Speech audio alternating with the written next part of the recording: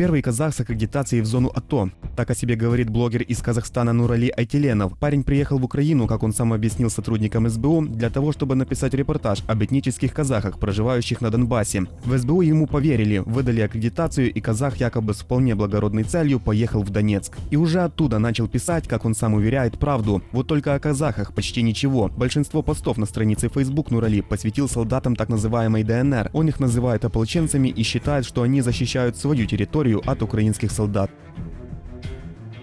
Со стороны ДНР вселяют надежду, что все будет нормально. Бойся ВСУшников на украинских блокпостах. Не хочется верить во вторую часть, в гости к бандеровцам. У казахского блогера даже то, что боевики не пытали его, уже вызывает восторг. Он с сарказмом пытается убедить, что там ни над кем не издеваются и все будто бы происходит вполне цивилизованно. Получил аккредитацию от пресс-службы Донецкой Народной Республики. Ни на какой одиннадцатый этаж меня не отводили. Шокером не пытали, иголки под пальцы не втыкали. За несколько дней пребывания в Донецке Нурали уже начал писать более откровенные посты, а точнее полную чушь. В частности, убеждал, что в Украине журналисты пишут неправду, считает, что это влияние Запада. К сожалению, в Украине много говорят неправды, слушая ватную западную пропаганду. Уже через несколько дней казахский блогер решил вернуться в Киев. Об этнических казахах он почти ничего не узнал, однако успел несколько раз облить грязью украинских солдат. И уже при выезде из неподконтрольной украинской власти территории Нурали не перестал выражать свою неприязнь к украинским военным.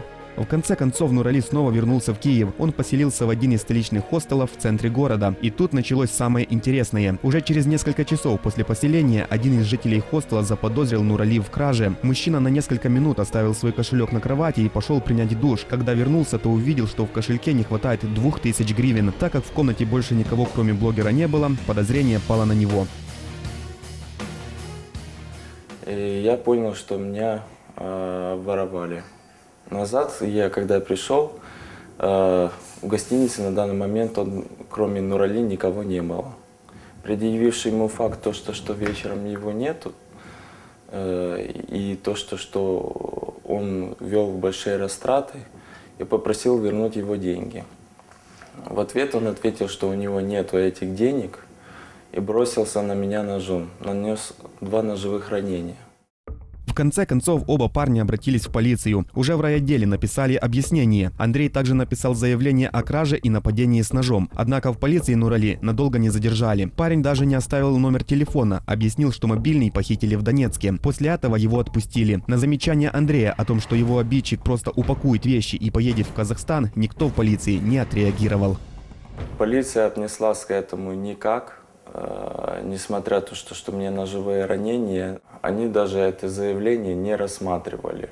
Между тем, в СБУ, несмотря на открытые сепаратистические призывы казахов в социальных сетях, несмотря на случай в киевском хостеле, особо не обращали внимания на коварного блогера, хотя хорошо знают о его существовании. Якщо я не помиляюся, то Если я не ошибаюсь, то этому парню аккредитация была аннулирована. Сейчас находиться в районе проведения АТО с целью сбора какой-то информации в журналистских целях он права не имеет. Проведення АТО із метою збору якоїсь інформації у журналістських цілях він не має права. Об истории с кражей и нападением с участием казаха в СБУ говорят ничего не знают. Однако после того, как наши журналисты поинтересовались, пообещали вмешаться в дело. Скажите, пожалуйста, как СБУ проверяет таких лиц и как им, собственно, дают аккредитацию?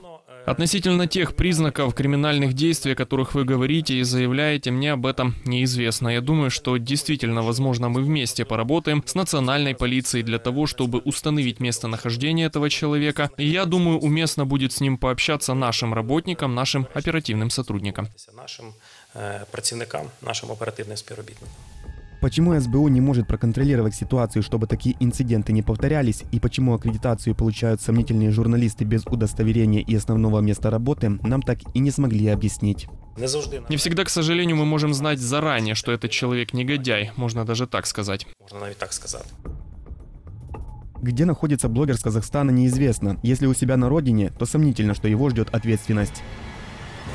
В СБУ часто проводят брифинги, говорят о национальной безопасности, но в действиях казахского блогера почему-то никакой угрозы не заметили. Не исключено, что такие же журналисты, как Нурали, сейчас работают в зоне АТО. О том, что они потом напишут, можно только догадываться. Пример казахского блогера Нурали Айтиленова показывает, что ему выгодна своя правда. Иногда она далека от истины.